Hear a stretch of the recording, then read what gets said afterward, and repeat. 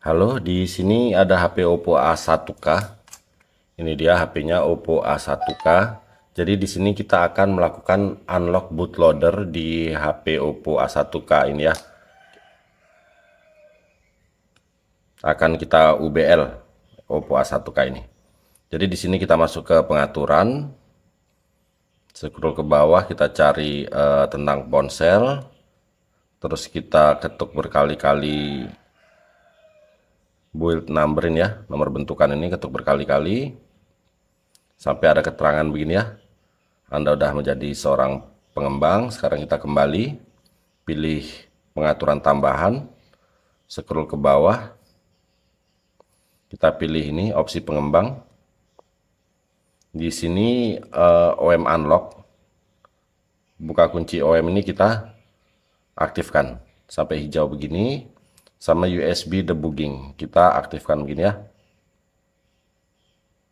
Oke, kalau sudah begini, sekarang kita matikan HP-nya.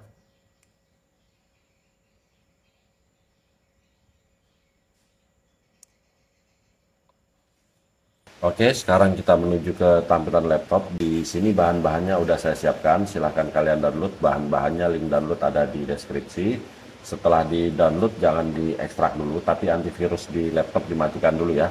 Windows Defender apa segala macam pokoknya antivirus di off kan dulu. Kalau sudah uh, ini MTK driver ini ini kalian ekstrak. Ekstrak begini ya terus install. Saya nggak ekstrak saya nggak install karena saya sudah melakukan sebelumnya. Terus kalau sudah ini Oppo USB driver ini ini driver MediaTek juga ini biar lebih mantap jadi kita install juga. Jadi kita ekstrak begini terus install. Saya nggak ekstrak saya nggak install karena saya sudah melakukan uh, sebelumnya juga. Kalau sudah sekarang ini ADB stop. ADB stop kalian ekstrak. Begini ya. Hasil ekstrakannya kita buka. Terus kita enter ya. Enter double klik begitu. Ada notif pilih yes Nah, di sini jadi tinggal diikutin aja. Jadi di sini kita suruh ngetik huruf Y, Y besar ya. Y terus enter. Y lagi enter. Y lagi enter. Ada begini, pilih next, pilih finish. Oke, uh, udah selesai nih install ADB-nya. Sekarang ini MTK ini MTK klien ini ini kita ekstrak juga. Kita ekstrak begini hasil ekstrakannya kita buka. Terus ini di sini ada uh, zip lagi jadi ini kita ekstrak lagi. Ini kita ekstrak lagi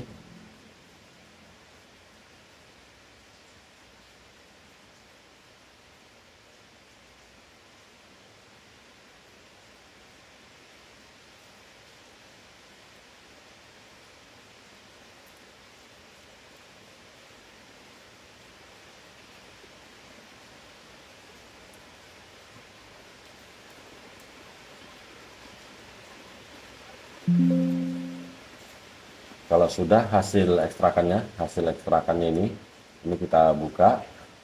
Nah terus kalau sudah terbuka sekarang ini USB DK ini kalian install, kalian double klik ya. Ini USB DK ini kalian install. Di sini saya nggak install karena saya sudah melakukan sebelumnya ya.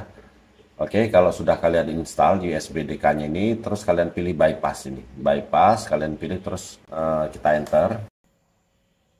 Oke. Di sini kita akan unlock bootloader ya, UBL, jadi nomor satu. Jadi udah udah terpilih nomor satu. Kalau mau relock uh, di keyboard uh, laptop pilih nomor dua, mau bypass tiga, gitu ya. Di sini kita pilih nomor satu, unlock bootloader, uh, unlock bootloader, terus kita enter. Pilih Y, huruf Y, terus enter. Oke. Okay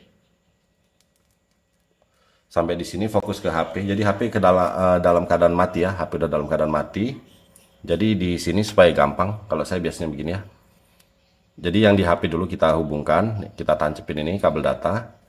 Terus volume bawah sama volume atas tekan tahan bareng ya. Volume atas sama volume bawah tekan tahan bareng. Terus kita hubungkan HP-nya ke laptop pakai kabel data yang bagus.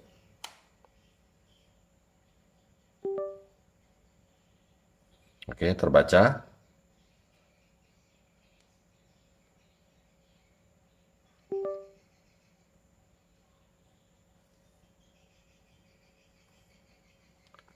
Oke ya, jadi kalau udah ada keterangan begini, begini ya, sukses, berarti udah selesai. Jadi bisa kita tutup aja kita atau kita pilih enter. Kita tutup aja yang di laptop udah ya. Sekarang fokus ke HP, jadi HP nggak hidup sendiri, kita cabut. Terus kita hidupkan manual, tekan tombol on off yang lama. Oke, bisa dilihat ya. Nah ini. Ada tulisan kecil-kecil begini. Berarti udah berhasil terunlock bootloadernya. Ini kita tunggu HP-nya sampai masuk ke tampilan awal.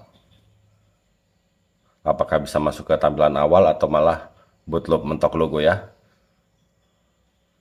Kita tunggu aja lah pokoknya.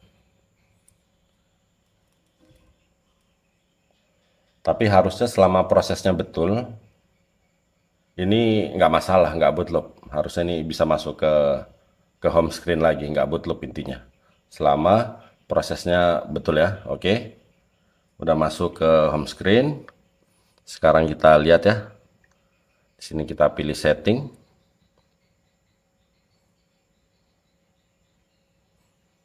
Kita pilih pengaturan tambahan. Scroll ke bawah. Ini opsi pengembang. Oke. OM unlock. Udah nggak bisa di eh, nggak uh, bisa disentuh ya udah nggak bisa disentuh ya. Nih jadi dia hijau nggak bisa disentuh. Jadi uh, selamat ini udah berhasil. Berhasil kita unlock bootloadernya ya. Jadi selanjutnya nanti untuk cara root atau cara custom room di HP Oppo A1K ini kalau memang bisa nanti kami uh, akan buatkan juga videonya. Nantinya juga kami taruh di deskripsi link videonya ya tapi intinya di sini kita sudah berhasil melakukan unlock bootloader atau UBL di HP Oppo A1K ini ya Oke, kalau begitu sampai di sini dulu video kali ini semoga bermanfaat. Mohon bantuan like, komen, dan subscribe-nya ya. Oke, terima kasih.